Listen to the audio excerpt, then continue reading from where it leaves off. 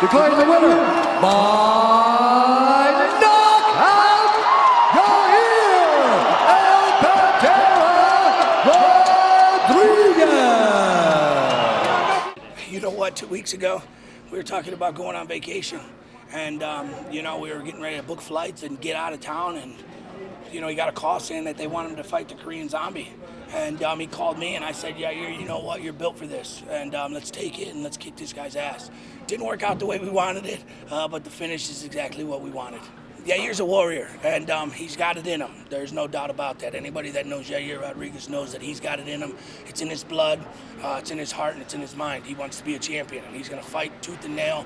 He's never going to give up, and we saw that tonight you know what? We knew that elevation um, is the elevation is the mystery uh, mystery uh, tool here that we have, and, and what it does is, you know, it, it hurts everybody. Nobody's immune to elevation, and uh, we knew that. So we knew we could push this guy into late rounds, and hopefully we can come up with something big. And uh, happened with the B with one second left. Yeah, you uh, got it done. So we're extremely proud of him.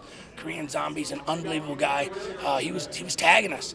he was going to work on us, you know. But um, Yair's Mexican, and um, he never quits. And and uh, he did an amazing job, and we're proud of him, and we love him. You know, that's Yair. That's Yair's style. You know, the goal with Yair is to keep him basic, keep him basic, because fundamentally, he's actually better than he is flashy. You know, he just loves to throw flash. That's part of his game, and if you let Yair start getting on his rhythm, you know, you never know when he's going to find that spot, and um, he found it tonight. You know what? Elbows is something Yair loves to do. You know, when he uh, he uses his feet a lot. He broke his foot, we think, in the first round.